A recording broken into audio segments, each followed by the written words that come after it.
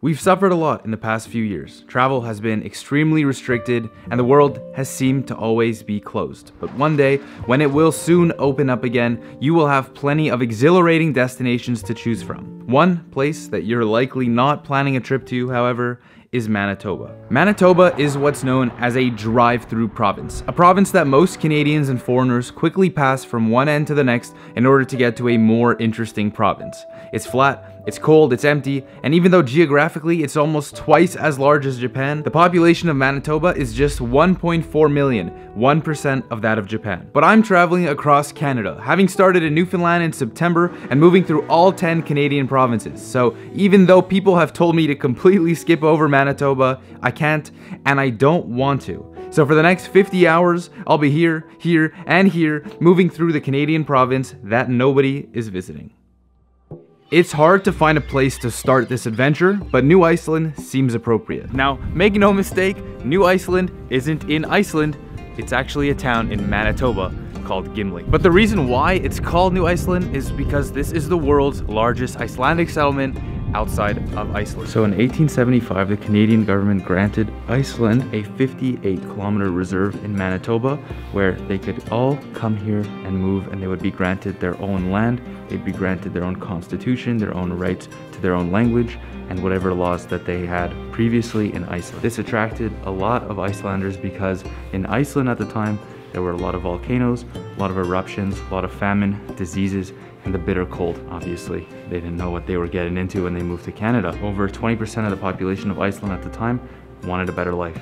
So they decided to all come here and they formed what's known as New Iceland. I mean, this isn't even English, so you could tell that they all came to Canada, but they didn't even start speaking English, they were still speaking Icelandic. In the Olympics in 1920, the Winnipeg Falcons won the gold medal and they consisted almost entirely of Icelandic Canadians. The Falcons earning Canada's first ever Olympic gold medal in hockey is said to be a defining moment not just in hockey history, but it was also an event that drastically shifted outsider perceptions of Icelandic Canadians. They definitely did a good job coming here because the Icelandic hockey team, I've never heard of them, so glad we have them here. Mike, one thing we've done in a few provinces is we've always sent postcards. Oh yeah.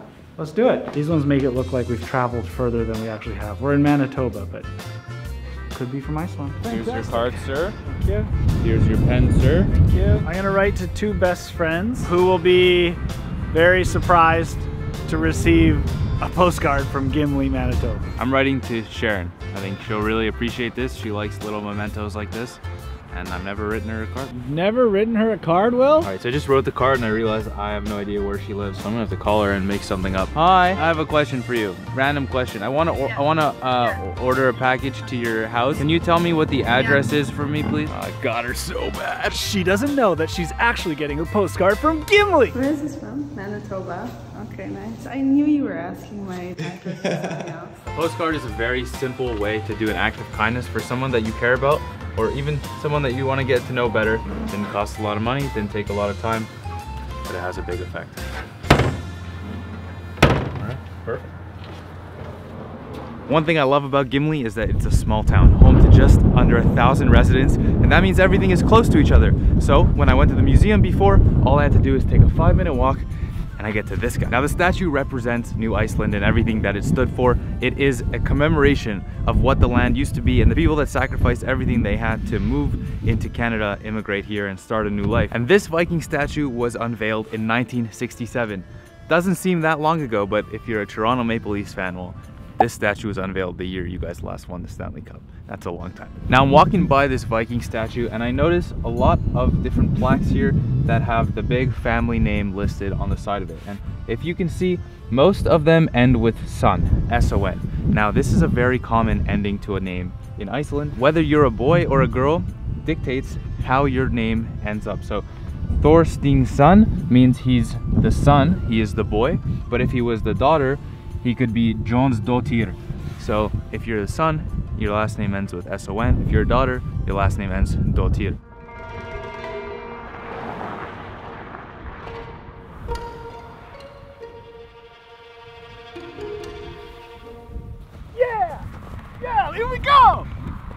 Gimli! New Iceland! Yeah! We made yeah! Well, you definitely can't say this is a unique place to visit. You've got the Manitoba flag, the Canada flag, and the Iceland flag all standing next to each other in cohesion and that is what makes up the town of Gimli. Quite an interesting place and quite an interesting spot for a welcome sign, but it also has a great view of the sunset. Isn't this quite an interesting spot for a sunset? Yeah, I wouldn't have picked a spot looking over the highway, but it's a good backdrop. Yeah.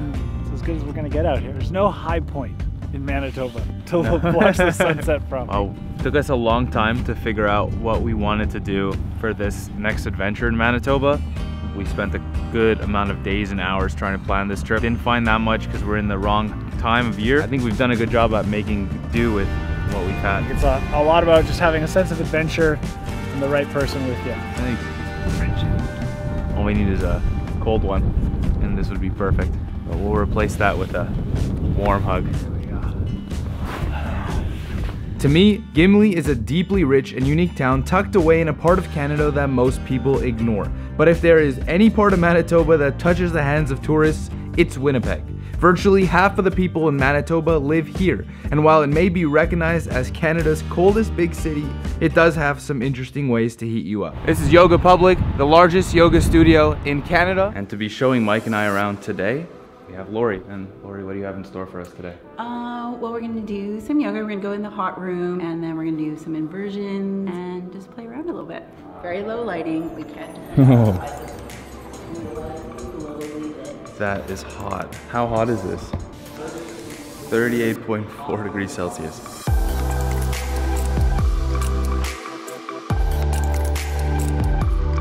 Why hot yoga? North American culture likes intensity. Like in India, where yoga originated, you would do yoga early in the morning when it isn't super hot. Also in this climate, it's yeah. especially at this time of year, you walk into this room and it just feels feels good. Why do you think we don't stretch as much? Well, I think people associate stretching with yoga and they either see themselves as practicing yoga or not, when really it's it's more like brushing your teeth.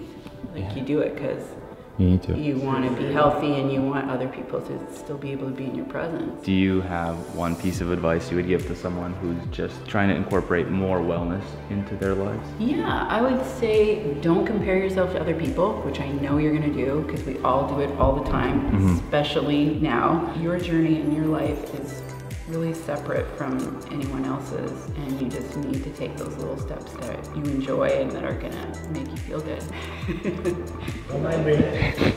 Thanks Lori. Bye.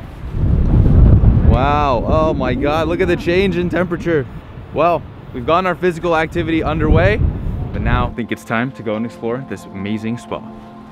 This is Thermea Spa, a $1.1 million property in Winnipeg that is strictly devoted to helping improve the mental and physical well-being of Winnipeggers all year round. And Janice here is the marketing manager, and she's gonna show us around. Yeah, welcome here. So Janice gave us an outline on how to properly enjoy this spa, so I'm gonna bring you through it step by step. The first part of this experience is going into the hot Finnish sauna, and this is supposed to be done to get your blood flowing to get your muscles relaxed, and get ready for the next activity.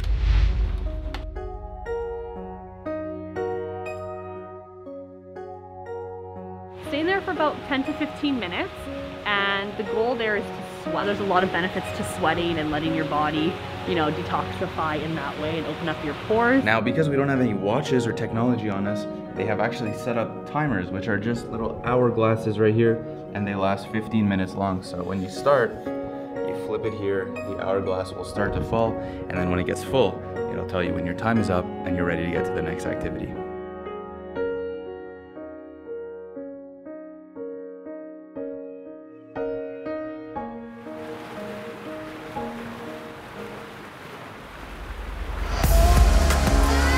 The second part is to do the cold dip. And when I tell you it's cold, oh baby, it's freezing. But you know what? The best part about this is that it teaches you how to get out of your comfort zone and try hard things, even when you're at a spa and you're supposed to be relaxing. But my legs are frozen, so let's move on to the next one. This is the third and final part of the cycle. This is the moderately temperatured pool. And it's supposed to help regulate your body temperature right again after being hot and then being cold. So this temperature is actually just room temperature. But when you get out of that freezing cold pool over there, well, definitely feels a lot more refreshing.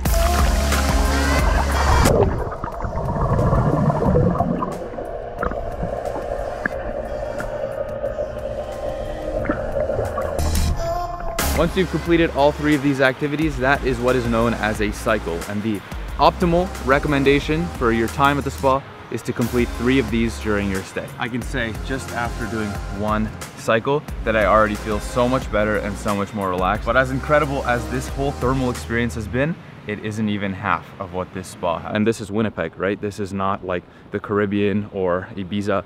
This is Manitoba, Canada. And the fact that they can build something like this, well, that goes to show that every place that you visit has something special and has something worth discovering.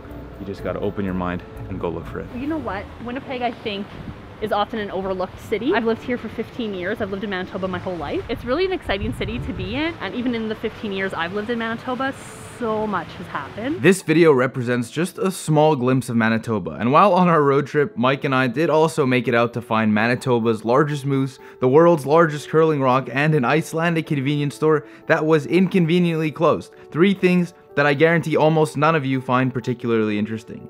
But maybe that is the magic in coming here. When you can learn to have fun in a part of the world that not many people want to be in, that teaches you how to make the most out of every situation. So maybe you might not want to visit Manitoba, but maybe you need to. Next week on Sprouht, I am staying in Winnipeg to spend a night at the world's best curling club. Now this is the oldest curling club in Western Canada and it's known around the country as the mother club of curling because it has produced so many Canadian and world champions. So if you're excited for that, well, consider subscribing because that is coming up in the next episode. I'm Will, and it's a mindset. I'll see you for the next one on the curling rink.